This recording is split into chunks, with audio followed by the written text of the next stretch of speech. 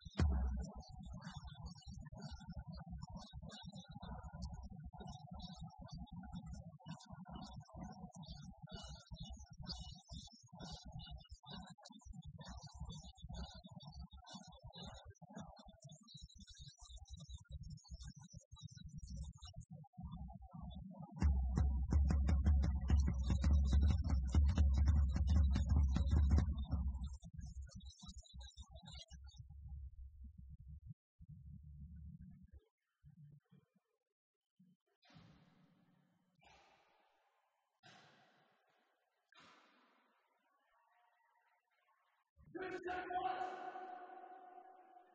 And